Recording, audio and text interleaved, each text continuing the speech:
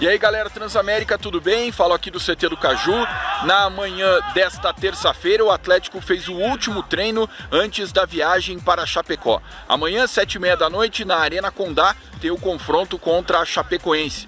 O Furacão precisa da vitória para ganhar fôlego ainda mais né, na luta contra o rebaixamento. Dependendo de alguns outros resultados, já pode sair da ZR nessa rodada. O time vem embalado com seis jogos de invencibilidade, considerando todas as competições, Sul-Americano e Brasileirão. Nesse período marcou 13 gols e sofreu apenas um.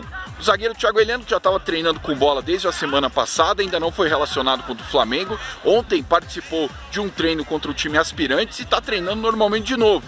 Ele deve voltar aí à delegação. Agora, se vai ser titular ou não, acho difícil porque Léo Pereira e Zé Ivaldo deram conta do recado contra o Flamengo. Todas as informações do Furacão você confere no Transamérica Esportes. Valeu! Transamérica Esportes.